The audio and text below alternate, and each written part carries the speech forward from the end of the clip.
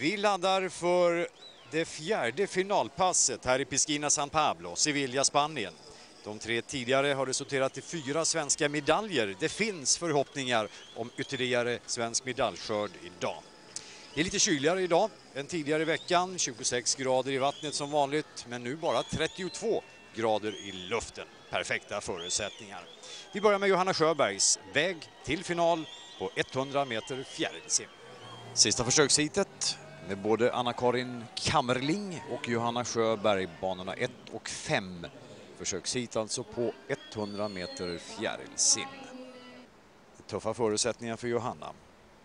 59.67 är bästa försökstiden. 1.01.31 är den femte bästa. Kammerling näst längst ner i bild alltså. Europarekordet 59.00. Johanna måste gå ner mot eh, ja, 1.01 och 3 helst för att ta sig till final. Eh, då har hon råd att inte behöva vinna hitet. Kammerling börjar ju väldigt bra på banan längst ner i bild. Kammerling som har sänkt sitt personbästa med fem sekunder under året. Det är två svenskor i ledning med 50 meter faktiskt. Det är Johanna före Kammerling. Johanna öppnar på 28.02. Det är en bra öppningstid. Den är bara tre tiondelar sämre än Moravkova som gjorde sitt kanonlopp alltså på 59.67, Europas snabbaste tid i år.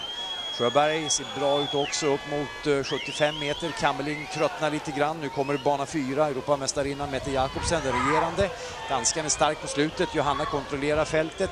Det är tiderna som avgör. Men det ser ganska bra ut, även om Mette Jakobsen tar in. Kammerling är nere på den femte plats nu. Johanna eller Mette Jakobsen. Och jag tror att båda kommer att ta sig till final. Johanna får tiden 1.00.57 1.00.57. Nytt svenskt rekord. Utsökt. Det var starkt gjort utav Johanna Sjöberg. Kamling 1.02.36. Det räcker inte mer än till en B-final. Men Sjöberg slår alltså till med svenskt rekord redan i försöken. Då är Moravkova bäst på 59.67. Jakobsen 1.00.46 och Johanna har den tredje bästa försökstiden med sitt nya svenska rekord. Det här blir finalisterna på 100 meter fjärilsim. Johanna Sjöberg alltså med den tredje bästa försökstiden på bana 3. Moravkova, Slovakien, bäst i försöken, 59.67, bana 4. Och Europamästarinnan, den regerande Mette Jakobsen, Danmark, på bana 5. Dansrekord 1.00.46 i försöken. Posteva, Ryssland, är på bana 1. Urunjuk, Polen, på bana 2. Posteva var snabbast ut förresten, men eh, orkade inte distansen fullt ut. Och Johanna med ett nytt svenskt rekord i försöken. En 00.57. Mycket starkt. Bra öppning då. Och eh, till saken hör att hon har aldrig sovit långsammare i ett finalpass än i ett försökspass. Moravkova, bana 4 alltså, tillhör samma universitet SMU i Dallas som Europamästaren Lasse Frölander. Och så här ser danskan ut, Mette Jakobsen. Vi har eh, finskan Maria Persinen på bana 6, italienskan Cini bana 7 och Chasson, fransyskan, på bana 8. Klart för start. Moravkova favorit. Kanonlopp i försöken. Bra start. Johanna bra med. Johanna alltså bana 3, Moravkova bana 4 och bana 5 Mette Jakobsen. Jag tror att vi fokuserar intresset på de tre banorna. Även om ryskan Posteva börjar bra på bana 1. Hon var ju snabbast ut idag i försöken. 27 och 74 hade hon då. Johanna är tvåa när det är 10 meter strax kvar till vändningen. Det är Posteva på bana 1, det är Johanna på bana 3 och Moravkova är bra med. Johannas tid 28.19. Går lite långsammare än i försöken då. Men å andra sidan kan hon ju öka på bassänglängden nummer två. Det är lite regn i luften nu, lite blåst. Jag tror inte att vi får samma tider kanske som på förmiddagen. Morabkova kanske kan göra under minuten, men hon har bara en decimeter på Sjöberg. Sjöberg är tvåa, Jakobsen är trea, Posteva faller väl tillbaka. Sjöberg utmanar Morabkova, men det skiljer någon decimeter. 10 meter från mål. Det är medalj för Sjöberg. Vad kan det bli för valör? Mette Jakobsen kommer. Ska danskan vinna? Johanna blir bronsspelare, gör. Och tiden på Johanna, svensk rekord, 1.00.07. 1.00.07. Jakobsen vinner 59.64.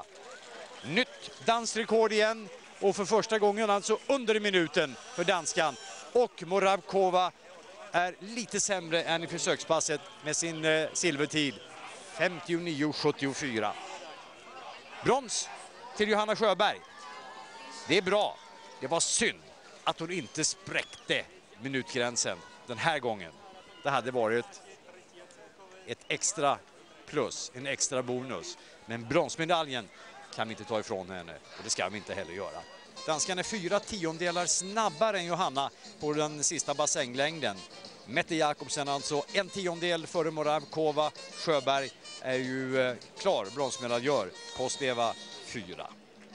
Ja, då fick du din medalj i alla fall. Ja, det var himla skönt. Det kändes verkligen bra. Kändes väl bra redan på morgonen misstänker jag? Ja, faktiskt. Det, det flöt på ganska bra. Det var bara i slutet jag var lite sådär trött. Och... Disponerade du loppet bättre i finalen tycker du? Ja, det gör du naturligtvis när du sänker svenska rekordet på nytt. Ja, jag höll väl lite bättre än i slutet där faktiskt och försökte hänga med de andra ut så gott det gick. Det känns verkligen skönt. Hon har gjort en fantastisk prestation då tycker jag som för det första då i en sån närbig eh, ta sig till final via ett svenskt rekord och sen visa då vilken klassimmerska hon är att slå ett nytt svenskt rekord i finalen.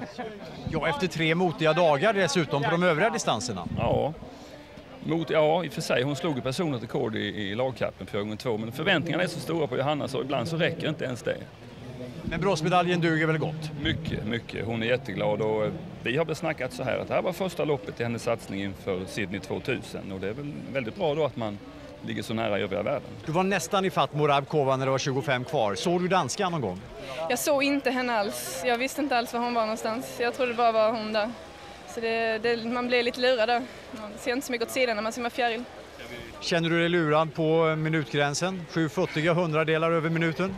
Ja men det är nära i alla fall så att, eh, det är nästan. Va? Så att, eh, jag tar, det, tar det nästa gång. Nästa gång, när är det? Ja, VM i Perth. Då klarar du minuten? Ja, jag hoppas det. Hon är sju futtiga hundradelar över minutgränsen. Var i loppet finns de någonstans att ta?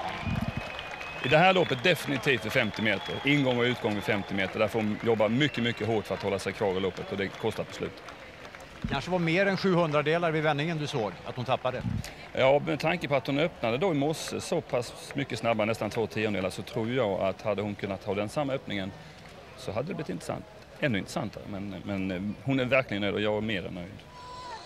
Sveriges lag i lagkappen 4 x 100 meter frisim. Lasse Frölander, Max von Bådungen, Anders Lybring och Jonas Åkesson. Det är Åkesson till vänster, det är Lybring till höger och det är alltså Frölander på startsträckan. Igår EM 2 på just den här distansen, 100 meter frisim. Nu möts de igen. Frölander tvåan och den oövervinnelige Popov som står här på startpallen, bana 5.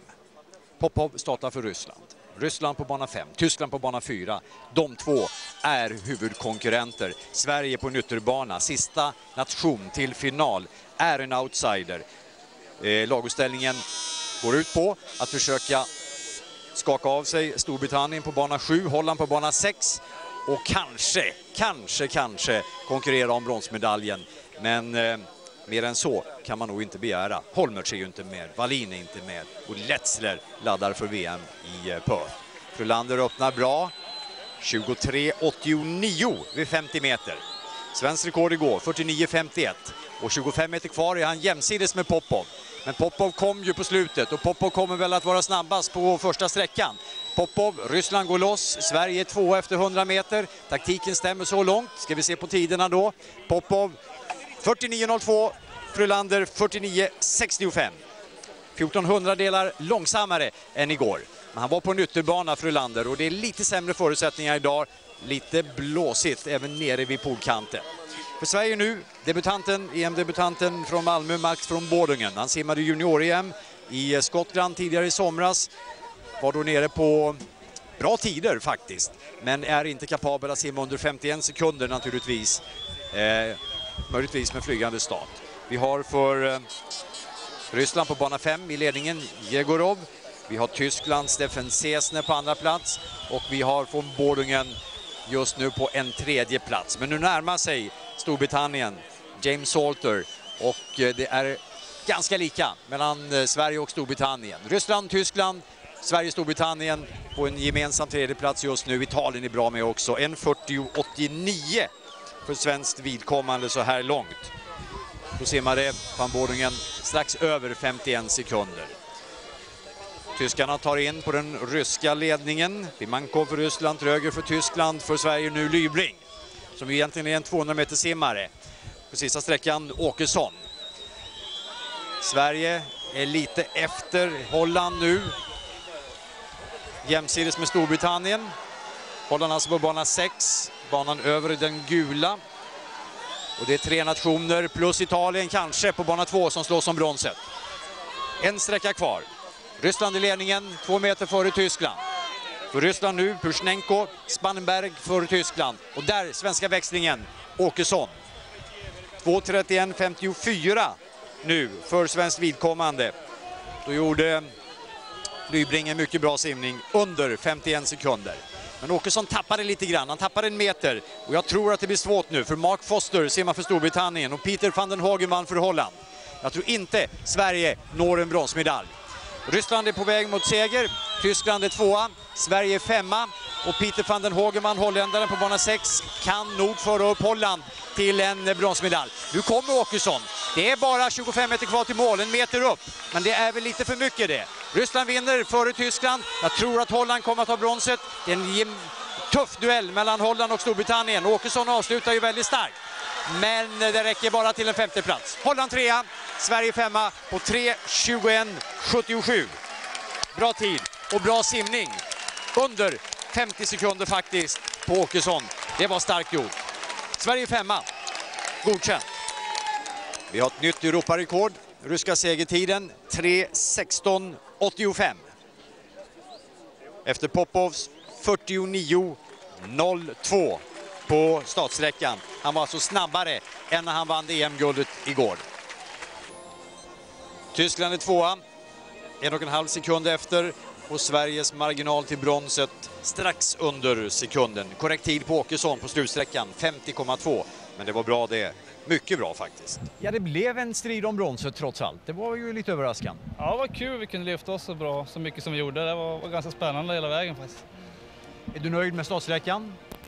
Ja, det är jag faktiskt. Jag, jag fick den öppning jag ville ha, men jag orkar inte riktigt idag. Det var lite segare än igår var det. Börjar ta nu på krafterna. Ja, det börjar kännas nu alla loppen och det var väl skönt nu att jag är klar. Så. Men nu är det slut och nu är du nöjd och nu blir det väl sightseeing imorgon då? Ja, jag får kika lite. Det ska bli kul att bara få sitta på läktaren en dag och titta på och heja på de andra.